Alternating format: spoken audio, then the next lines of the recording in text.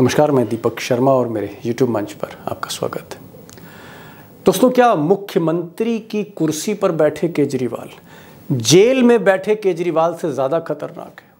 क्या जेल वाला केजरीवाल, जेल वाला केजरीवाल मोदी जी के लिए ज़्यादा बड़ी मुसीबत है? ज़्यादा बड़ी मुसीबत है। अब पिछले दो दिनों से जो फीडबैक आ रहा है, जो प्रतिक्रियाएँ आ रही हैं, जनता की, दिल्ली और दिल्ली के चारों तरफ़ से उसने कहीं ना कहीं मोदी और शाह को हिला दिया है। अब जिस तरह की सहानुभूति और ज़बरदस्त सहानुभूति केजरीवाल को मिल रही है, पिछले दो दिन से जब से उनको गिरफ़्तार किया गया, तब से अंदर खाने बीजेपी में चर्चा है कि केजरीवाल को जेल भेजकर मोदी जी ने गलती की और कहीं ना कहीं पार्टी यानी बीजेपी पंजाब में, दिल्ली में और यहाँ तक कि हरियाणा में फंस गई है। और सबसे बड़ी बात यह है कि जब से ये पोल खुली है कि 55 करोड़ रुपए 55 करोड़ रुपए के बॉन्ड बीजेपी ने इस आदमी से लिए, जिसको मास्टर माइंड शराब घोटाले का कहा जाता है। तब से कहीं ना कहीं बीजेपी की हर तरफ़ किरकिरी हो रही है। और लोग कह रहे हैं कि भले ही केजरीवाल जेल भेजे गए, दरअसल पोल तो असली मोदी की खुली है। केजरीवाल का कोई घोटाला नहीं घोटाला सब ये कर रहे। ये जो गरीबों की सरकार थी जो पानी बिजली माफ़ी दे रहा था सबको उसको लोगों बुरा लगता है क्योंकि ये हारने वाला था इसलिए ड्रामा किया उसने। सबसे ज़्यादा चंदा तो बीजेपी ने लिया है जिसमें केजरीवाल बंद है इसमें बीजेपी जेपी नड्डा का बंद होना चाहिए। पैसा तो उन्होंने लिया पचपन उनसठ करोड़ करीब। भारतीय जनता पार्टी ये बताए कि जिस रेड्डी से सबसे ज़्यादा इलेक्टोरल बांड बीजेपी ने लिया तो उसमें सबसे ज़्यादा किंग पिन अरविंद केजरीवाल कैसे हैं? उसका किंग पिन नरेंद्र मोदी क्यों नहीं है? अब पिछले 48 घंटों से जब से केजरीवाल की गिरफ्तारी हुई है ये हकीकत है कि मोदी जी हेडलाइंस में नहीं, अमित शाह हेडलाइंस में नहीं, हेडलाइंस में केजरीवाल है। अखबार की सुर्खियाँ हों या फिर टीवी चैनल्स की हेडलाइन हो, केजरीवाल पर फोकस है कि केजरीवाल कब जेल जाएँगे, कब वो रिमांड से छूटेंगे। और दिल्ली में हर जगह अलग अलग जगह यूँ कहूँ, धरने हैं, प्रदर्शन है, कहीं लाठीचार्ज हो रहा है, कहीं गिरफ्तारी हो रही, कहीं प्रोटेस्ट हो रहा है। और इन सब के बीच, इस माहौल को देखते हुए, आज आम आदमी पार्टी ने तय किया है कि 31 तारीख को, आने वाली 31 तारीख को दिल्ली में एक ऐतिहासिक रैली होगी। आप कह सकते हैं शो ऑफ़ स्ट्रेंथ, शक्ति प्रदर्शन होगा इंडिया लाइंस का, उसमें कांग्रेस भी होगी उसमें आम आदमी पार्टी होगी उसमें कई विपक्षी दल भी होंगे, इंडिया लाइंस के। और ये जो रैली है, या महारैली जिसे बताया जा रहा है ये तय करेगी। कि आने वाला जो माहौल है, वो किसके पक्ष में? आम आदमी पार्टी के पक्ष में, इंडिया अलायंस के पक्ष में, या फिर दिल्ली के पक्ष में? जनता किसके साथ खड़ी है? केजरीवाल के साथ या मोदी जी के साथ? दिल्ली में। अब जानकारों का कहना है कि बीजेपी को जो सबसे बड़ा डैमेज हो गया, या बीजेपी की जो सबसे ज़्यादा किरकिरी हो गई, या आप इसे चूक कह सकते हैं, चूक ये हुई कि जो केस केजरीवाल पर खोला शराब घोटाले का जिसमें मनीष सिसोदिया को जेल भेजा, संजय सिंह को जेल भेजा, केजरीवाल को जेल भेजा। उसमें बीजेपी से चूक ये हुई कि इसी केस के जो मुख्य आरोपी, जो मास्टरमाइंड है, उसी से बीजेपी ने 55 करोड़ रुपए का इलेक्टोरल बॉन्ड ले लिया। यानी चोर, केजरीवाल को बताया जा रहा था, असली चोरी या चोरी का जो पैसा कह लीजिए या मनी ट्रेल कह लीजिए, वो बीजेपी की तरफ़ जाते हुए दिखी। अगर रेड्डी से पैसा ना लिया होता, ये पचपन करोड़ रुपए ना लिए होते, और अगर रेड्डी को बेल ना मिलती रेड्डी अप्रूवर ना बनते, उनके गुनाह माफ़ ना किए जाते, अगर ये चूक ना हुई होती तो शायद आज बीजेपी को इस किरकिरी का सामना ना करना पड़ता। अब सवाल ये भी है कि अगर ये जानकारी रेड्डी के बारे में जानकारी समय पर पीएमओ को भेज दी गई होती तो शायद आज मोदी जी की इतनी किरकिरी नहीं हो रही होती। अब गोफअप कहाँ हुआ? गलती कहाँ हुई? ब्लंडर क्या हुआ? और क्या जो इलेक्ट्रल बॉन्ड का जो डाटा है, वो क्या बताता है? किसकी गलती थी? उस पर भी हम आएँगे एक्सपर्ट के साथ। लेकिन बड़ा सवाल ये है कि क्या केजरीवाल जेल में रहकर सरकार चलाएँगे? या फिर उनकी पत्नी जो है वो मुख्यमंत्री होंगी? या फिर कोई और मुख्यमंत्री होगा? क्या ये फैसला इकतीस तारीख को जो रैली उसमें लिया जाएगा? आगे क्या होने वाला है? और क्या दिल्ली की जो सात सीटें हैं, वो फंस गई हैं बीजेपी के लिए? क्या हरियाणा में भारी नुकसान हो रहा है? क्या पंजाब में बीजेपी का खाता नहीं खोलना है? और क्या इसका असर गुजरात में भी होगा? इलेक्टोरली अगर आप देखें, चुनावी राजनीति में देखें तो फिर नफ़ा नुकसान क्या है? ये बहुत अहम सवाल है। इस पर भी बात करेंगे। आज दो एक्सपर्ट हैं। संदीप मनु धने साहब हैं, डेटा एक्सपर्ट हैं।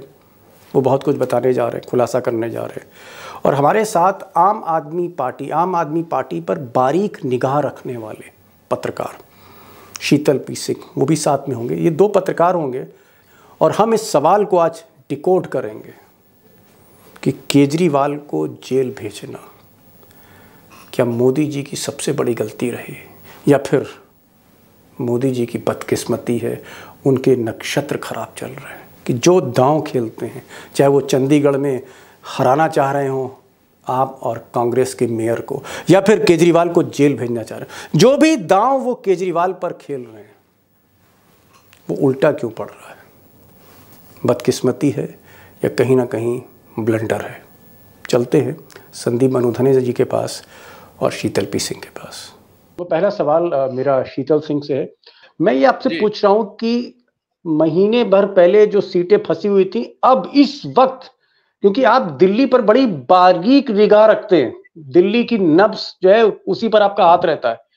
क्या ये जो सात सीटें हैं जो हंड्रेड परसेंट ऐसा बीजेपी दावा कर रही थी सातों सीटें मोदी जी तीसरी बार जीतेंगे क्या ये सीटें फंस गई हैं? क्योंकि सिंपैथी अब केजरीवाल के साथ है। क्या सीटें फंस गई हैं? ये मैं जानना बिल्कुल बिल्कुल फंस गई हैं सातों फंस गई हैं। जब चुनाव में अरेस्ट नहीं हुई थी तब तक मुझे लगता था कि महाबल मिश्रा वाली सीट और कुलदीप कुमार वाली दो सीटों पर आम आदमी पार्टी और कांग्रेस का गठबंधन पाँच में मतलब सात में से दो सीटों पर बहुत अच्छा कर रहा है। उसमें शायद वो जीत भी जाए लेकिन पाँच सीटें तो बीजेपी जीत ही रही थी मेरे हिसाब से। लेकिन अभी मैं ये नहीं कह सकता कि अब कौन सी बीजेपी जीत रही है कौन सा गठबंधन जीत रहा है। क्योंकि अब सब जगह पर एक माहौल केजरीवाल के गिरफ्तारी के बाद जैसा बन रहा है उससे मुझे लग रहा है कि अब लड़ाई गंभीर हो गई है सभी सीटों पर होगी। वर्किंग क्लास की बहुत सारी महिलाओं के जो इस समय यूट्यूब वगैरह पे और इवन टेलीविज़न चैनलों के उन रिपोर्टर्स पे जो पब्लिक में जा रहे हैं उनके जो इंटरव्यूज़ आ रहे हैं वो लगभग एक तरफा गवाही दे रहे हैं और उनमें कुछ भावनात्मक फ़र्क आया है ये नज़र आ रहा है। और दूसरी बात यह हुई कि आम आदमी पार्टी के कार्यकर्ताओं और समर्थकों का जो हिस्सा कुछ ठंडा हो गया था शांत पड़ गया था इतने चुनाव हुए इतने चुनाव में भागीदारी करते करते और बहुत सारे मामलों से भी लोग हो जाते हैं निराश वो सब अब उठ खड़े हुए हैं। उनमें एक भावना आई है कि केजरीवाल को जिस तरह से गिरफ़्तार किया गया और जब ये तथ्य सामने सबके आ गया है कि उस कंपनी से खुद बीजेपी ने पचपन करोड़ से ज़्यादा गिरफ्तारी के बाद लिए हैं तो अब वो तार्किकता जो केजरीवाल की गिरफ्तारी के लिए बीजेपी ने तैयार की थी या ईडी ने तैयार की थी वो उल्टी पड़ रही है और ये गेम पलट गया। मैं शीतल जी आपके पास आऊँगा और मैं ये भी पूछूँगा कि क्या केजरीवाल जेल से सरकार चलाएँगे या कोई नया मुख्यमंत्री हो सकता है खासकर जो इकतीस तारीख को रैली होने जा रही है दिल्ली में वो बहुत डिसाइसिव रैली होगी। उस पर मैं आऊँगा लेकिन मैं संदीप जी आपके पास जानना चाह रहा हूँ। संदीप जी, आप तो डेटा को खंगालते हो और डेटा की रग रग से आप वाकिफ हैं कि ये पैसा यहाँ से गया, इस तारीख को यहाँ से गया। इलेक्टोरल बॉन्ड आपने पूरी तरह से रिसर्च कर रखा है। मैं आपसे एक चीज़ जानना चाह रहा हूँ। आपने मुझे फ़ोन करके बताया था कि आपको अरबिंदो पे शक है कि ये शरद चंद्र रेड्डी की कंपनी है और आपने एक घंटे में बता दिया था कि ये पैसा बीजेपी को दिया गया है। यानी आपने ये कहा था कि जो मेन अक्यूज है शराब घोटाले का, उसने बीजेपी को इतने पैसे दिए।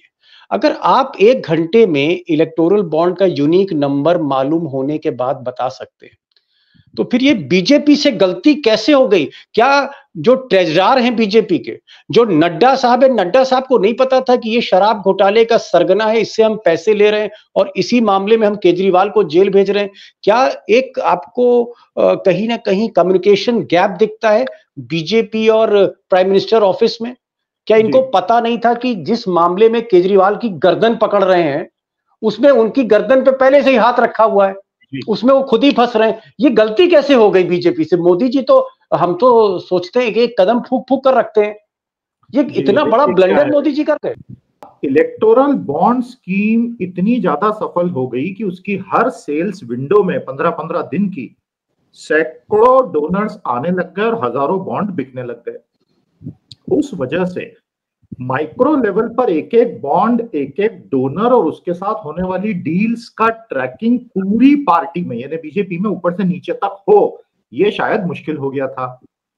अब क्योंकि बीजेपी मल्टीपल प्रोजेक्ट्स एक साथ चलाने वाली पार्टी है अंडर प्राइम मिनिस्टर मोदी तो कहीं ना कहीं जब ये पूरा औरबिंदु फार्मा वाला मामला निकला तो पार्टी में जो लोग इलेक्टोरल बॉन्ड को एनकैश करने के लिए जिम्मेदार रहे होंगे, वो ये कड़ियाँ जोड़ नहीं पाए नहीं तो वो तुरंत ही पार्टी के प्रेसिडेंट को ये बता देते कि सर, अगर इस कंपनी से जिसके पीछे ये व्यक्ति खड़ा है, जिसको अप्रूवर बना के ही ये सब केजरीवाल को और उनके टॉप लोगों को हम जेल में डालने की सोच रहे हैं, ये नाम अगर कहीं बाहर आ गया तो क्या होगा? वो कम से कम ये चेतावनी देते। कहीं आपको कहीं आपको कम्युनिकेशन गैप लगता है कि बीजेपी में आज की बीजेपी में ट्रेजरार की इतनी हिम्मत नहीं है। बीजेपी का जो खाता देख रहा है उसकी इतनी हिम्मत ही नहीं कि मोदी जी से जाके कह दे कि साहब ये रेड रुकवाइए ये अरेस्ट रुकवाइए बेजती अपनी हो जाएगी ये तीर उल्टा पड़ने वाला है। क्या मोदी को कम्युनिकेट नहीं कर पाए? और तो बेजती हो गई।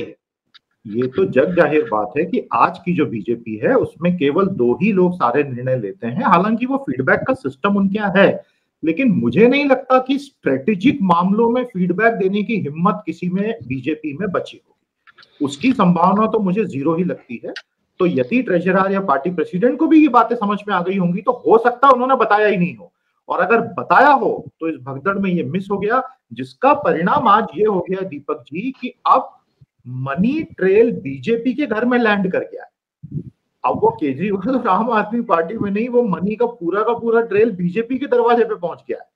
और जी जी। जनता इस बात को समझ चुकी है। आप कितना भी उसको दबाइए क्योंकि ये तो अब कागज़ पर सब लिख के सामने शीतल जी आम आदमी पार्टी को आप आ, काफ़ी बरसों से देख रहे हैं। इसको खड़ा होते हुए आपने देखा आंदोलन देखा केजरीवाल का आपने राइज देखा फिर बार बार केजरीवाल इलेक्शन जीतते गए उसके आप एक तरह से गवाह रहे। आप एक एक पत्रकार थे जो सब कुछ अपनी आँखों से देख रहे थे। आपको लगता है कि केजरीवाल इस सरकार को जेल से बहुत दिन तक चला पाएँगे? क्योंकि प्रैक्टिकल प्रॉब्लम्स आएँगी जेल से चलाने में। या फिर केजरीवाल देर सबेर इकतीस तारीख की रैली के बाद आ, किसी दूसरे को ये कारभार देंगे कोई मुख्यमंत्री बनाएँगे? आपको लगता है कोई चेंज होगा? नहीं नहीं, बिल्कुल होगा और मुझे लगता है कि जल्दी ही होगा। कुछ दिन ये सब चलेगा। अब ये रैली तक चलता है या उसके पहले ही हो जाता है, ये देखना होगा। लेकिन ये जल्दी ही होगा क्योंकि नहीं तो कॉन्स्टिट्यूशनल प्रॉब्लम आ जाएँगी और फिर एलजी का रोल आ जाएगा। इस पर एक पिटीशन भी हाई कोर्ट में या सुप्रीम कोर्ट में किसी ने डाली है। वो इश्यूज़ बनेंगे, जो इश्यूज़ इनको फिर नुकसान करने लगेंगे। तो ये निश्चित तौर पर इसका विकल्प करेंगे। जहाँ तक मेरी सूचना है, मेरे हिसाब से आतिशी मार लेना। ही अब तो आतिशी सिंह जी हाँ। तो आतिशी सिंह जो है वो अगली मुख्यमंत्री होंगी आम आदमी पार्टी की ओर से। अगर कोई ऐसी चीज़ एलजी की ओर से न हो गई जिसको आज हम आप एंटिसिपेट नहीं कर रहे हैं क्योंकि हमें नहीं पता कि बीजेपी इन सारी चीज़ों के को लेके बीजेपी का हाई कमान क्या क्या सोच रहा है क्योंकि वो एक गलती सुधारने के लिए कई बार कई गलतियाँ हो जाती हैं। तो ऐसी भी कोई चीज़ हो सकती है सरकार ही शीतल जी जाए।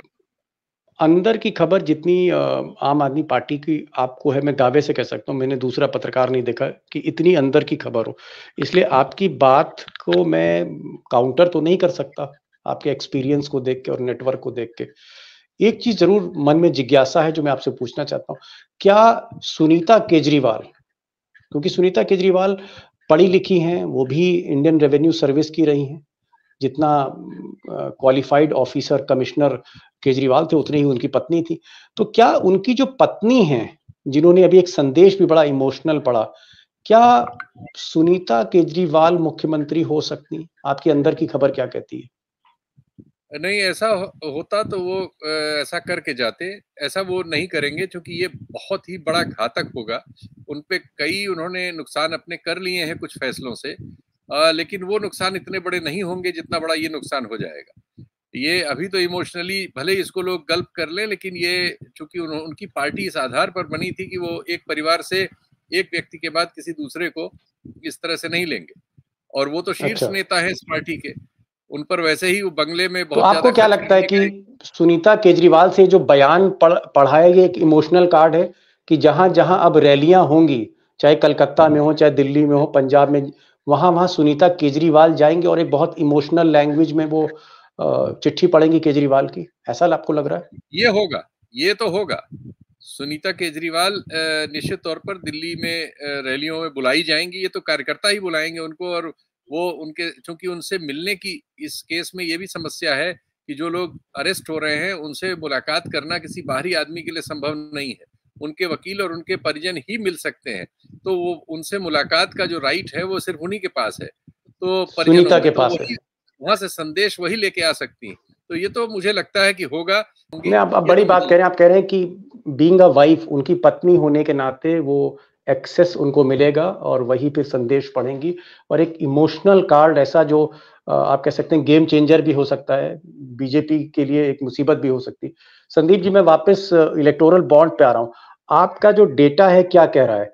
कि बीजेपी बहुत बुरी तरह से लिखा पढ़ी में फंस गई है। ये जो सीक्वेंस ऑफ़ इवेंट है, जो हम सबने इस पर वीडियो भी करा है कि जिस जिस तारीख को ये जो मुख्य सरगना है रेड्डी, इसने जब जब पैसा दिया इसकी कंपनियों ने बीजेपी को, उसको राहत मिलती चली गई। तो क्या ये परफेक्ट केस है? आपको लगता है इसमें पीआईएल होगी और मोदी और अमित शाह, और अगर मोदी अमित शाह नहीं तो कम से कम नड्डा जी के लिए बहुत बड़ी मुसीबत है। जो पार्टी के अध्यक्ष जिनको ये पैसा दिया गया या उनके जो कोषाध्यक्ष है क्या बीजेपी इस पूरे मामले में लिखा पड़ी में घिरती हुई दिख रही है आपको ये शराब घोटाले में? रेड होने के पहले इस कंपनी ने पैसा दिया बीआरएस को टीडीपी को बीजेपी को। रेड होने के बाद इस कंपनी ने पैसा दिया केवल केवल बीजेपी को। अब इसका क्या मतलब निकाला जाए? जी। किसी भी कोर्ट में जब ये मामला जाएगा, एक अच्छा वकील सिर्फ़ इस तर्क को सामने रखेगा। और उसी से बिल्कुल प्राइमा फेशी लिंक एस्टेब्लिश हो सकती है। क्विट प्रो को एस्टेब्लिश हो सकता है। और बात सिर्फ़ औरबिंदो फार्मा की नहीं है, दीपक जी। सैकड़ों कंपनियों के साथ ये क्विट प्रो को एस्टेब्लिश किया जा सकता है, कुछ ही हफ्तों का काम है। और एक एक कंपनी के मामले में प्रिवेंशन ऑफ़ करप्शन और पीएमएलए के तहत मुकदमे दर्ज हो सकते हैं। जी। Last question, Sheetal ji Sheetal ji, last question. और लास्ट क्वेश्चन ये है कि मोदी जी ने जिस तरह से केजरीवाल को अरेस्ट किया चुनाव के दौरान, आपको लगता है, बाद में रेड्डी का खुलासा मोदी जी के खिलाफ हो गया। आपको लगता है दांव गलत पड़ गया या मोदी जी पर शनिच्चर भारी है, ग्रह ठीक नहीं है समय खराब है या नियति और नीति का खेल है, ऊपर वाला नाराज़ है, ये क्या हो गया? मैं ये जानना चाह रहा हूँ, कम से कम आप एक एक्सपीरियंस पत्रकार है, मुझसे ज़्यादा एक्सपीरियंस है आपको। ये क्या ये नियति का खेल है? ईश्वर कुछ चाह रहा है, क्या हो गया ये? ये बदकिस्मती है ये। कोई भी परफेक्ट नहीं होता और हम जिन सफल लोगों को जानते देखते हैं, उनसे उनकी असफलताएँ भी जानते देखते हैं। तो ये बिल्कुल किसी से भी कैलकुलेशन मिस्टेक हो सकता है, उनके हिसाब से उन्होंने अपना फ़ायदे वाला कदम चुना था लेकिन चीज़ें बूमरैंग कर गई या बहुत सारी डिटेल्स आई सिर्फ़ इस इस एक कंपनी की बात नहीं है। संदीप जी तो इस आंकड़ों पे देख ही रहे हैं तो ऐसी दर्जनों कंपनियाँ हैं दर्जनों मामले ऐसे हैं कि जिनके यहाँ ईडी ने सीबीआई ने या इनकम टैक्स ने रेड मारी उसके बाद वो बीजेपी को चंदा देने गए उन्होंने चंदे दिए उनके मामले खत्म हो गए। ऐसे मामले भी हैं कि जो कुछ लोग पहले थोड़ा चंदा देते थे उनके यहाँ टैक्स या एजेंसियों ने रेड मारी तो फिर वो ज़्यादा चंदा दे गए। इस तरह की बहुत सारी चीज़ें बीजेपी के खिलाफ है। लेकिन बीजेपी के पक्ष में यह है कि मीडिया उनके हाथ में है। सोशल मीडिया को उन्होंने लगभग कंट्रोल कर रखा है। नहीं लेकिन शीतल जी मैं तो एक लाइन का जवाब चाह रहा हूँ एक लाइन का। क्या मोदी जी गलती कर गए? गलती हो गई। चलिए बदकिस्मती छोड़िए नियति की बात ये? गलती है। इसको इसको विपक्ष भुना पाए न भुना पाए लेकिन ये गलती है। यस गलती है। चलिए। चलिए एक वरिष्ठ पत्रकार ने माना कि मोदी गलती कर गए हैं और मैंने भी ये नहीं कहा कि ये नक्षत्रों का खेल है ग्रहों का खेल है गलती हो गई उनसे। और संदीप जी कह रहे हैं कि लिखा पढ़ी में जिस तरह से मोदी जी फंस गए हैं आने वाले दिन नड्डा जी खासकर क्योंकि उनकी वो पार्टी के अध्यक्ष हैं पार्टी में पैसा गया है। और जिस तरह का सीक्वेंस ऑफ़ इवेंट है घटनाक्रम है रेड्डी को छोड़ना फिर अप्रूवर बनाना बेल मिलना मामूली पीठ दर्द पर बेल मिला ये इतना एक ट्रेल ऑफ़ एविडेंस है कि संदीप जी कहते हैं कि केजरीवाल को जो पैसा मिला वो तो नहीं ढूंढ पाए, लेकिन ये जो 55 करोड़ है सीधे सीधे बीजेपी के घर लैंड कर रहा है। ये पूरी मनी ट्रेल बीजेपी के अकाउंट खातों से लिंक कर रही है। एक बहुत बड़ी मुसीबत और दूसरी तरफ़ केजरीवाल को एक बहुत बड़ी सिंपैथी इसीलिए शीतल सिंह जो दिल्ली पर बड़ी बारीक निगाह रखते हैं, इनका कहना है, सातों सीट जिसमें सिर्फ़ दो सीट में उनको आज से महीने भर पहले आम आदमी पार्टी लड़ते हुए दिख रही थी। सात में से सिर्फ़ दो सीट पर। आज वो कह रहे हैं कि सातों सीट पर आम आदमी पार्टी लड़ते हुए दिख रही है और सातों सीट पर भारी भी पड़ सकती। ये एक बड़ा चेंज है और मुझे लगता है कि मोदी जैसा आदमी अगर उनसे ये गलती हो गई होमवर्क नहीं किया और ईडी पहले भेज दी मुझे लगता है कि एक गेम चेंजर भी हो सकता है। आप दोनों मेहमान जो है, जिस बेबाकी से आपने कैमरे के सामने बातें रखी मोदी जी के दौर में, शीतल जी आपको सलाम है और मनोधने साहब आपको तो सलाम है ही, क्योंकि आप आंकड़े एकदम खोल के रख देते हैं सबके सामने। बहुत बहुत शुक्रिया और मैं दर्शकों से आज हैप्पी होली कहूँगा। आप रंग खेलिए और रंग भी देखिए, राजनीति का राजनीति का रंग तो आप देख ही रहे तो happy Holi to all my friends और शीतल जी, आपको भी होली मुबारक और मनु जी, आपको भी होली मुबारक। Thank you so much for joining this program